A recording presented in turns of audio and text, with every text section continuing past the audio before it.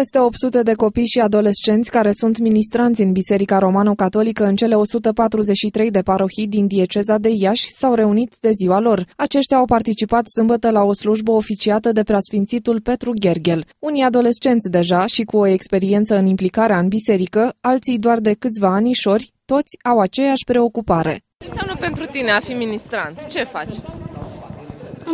Mă rog pentru familia mea și pentru prieteni. E destul de frumos, adică ești mult mai aproape de Dumnezeu față de ceilalți copii. Păi, nu e foarte,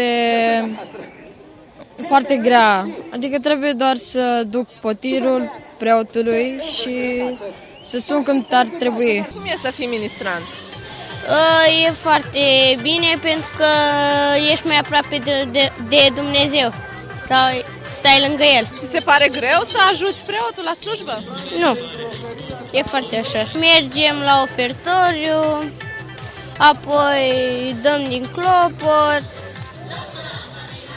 um, ce mai dăm pacea cu preotul. Evenimentul care a reunit ministranții la Iași se desfășoară în fiecare an în câte un oraș al diecezei. Grupul de copii care participă pe lângă preot în timpul slujbei are un rol important. Ministranții sunt uh, acele persoane care îl ajută pe preot la uh, celebrările liturgice, la Sfânta Liturghie și la alte celebrări. Ei împlinesc uh, o slujire deosebită, ajutând la înfrumusețarea celebrărilor și îndeplinesc unele slujiri, cum ar fi purtarea cădelniței, a lumânărilor, sunatul din clopoței și alte slujiri care fac celebrările să fie cât mai frumoase și solemne. Ministranții au încheiat ziua cu o vizită la seminarul teologic Sfântul Iosif. Copiii și adolescenții care ajută preotul la slujbă fac această activitate benevol în timpul lor liber.